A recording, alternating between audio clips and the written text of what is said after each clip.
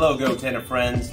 This is Zeb Jaillet, cell leader at Tough Stump Technologies, here with a GoTenna Pro Tip series. Today, we're going to go over how to use the Spectrum Analyzer tool inside GoTenna Pro X, tethered to the Team Awareness Kit, or TAK. The Spectrum Analyzer allows the end user to observe the RF environment they're operating in to best select the band or frequency to optimize their GoTenna Pro X experience. What you're going to need is your GoTenna Pro X with either a VHF or UHF antenna paired to your TAK device. We're going to use the Samsung S10. With ATAK activated, select the overflow icon or stoplight. Scroll down until you have found the GoTenna Pro X plugin. After you are paired and tuned with your GoTenna, scroll down and find the Spectrum Analyzer tool. Once the tool is open, it'll ask you what band to observe. I'm currently tuned to the UHF, so I want to examine my RF environment. The RSS, or the Received Signal Strength Indicator, will measure the power output of received radio signals. This X and Y axis charts the decibel level with the RF channels in megahertz within the frequency constraints of the GoTenna Pro X.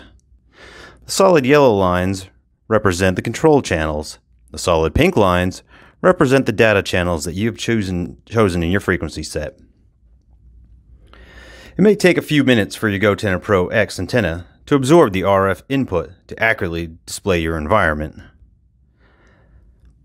The blue horizontal floor represents the RF energy the spectrum analyzer is observing. Right now, we are getting spikes in between 460 and 465 megahertz in the UHF spectrum. Now let's take a look at the VHF band.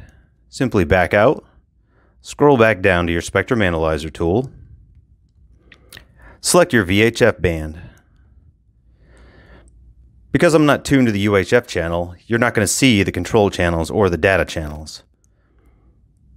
Once again, this may take a few minutes for your GoTenna Pro X to absorb the RF energy in your local area.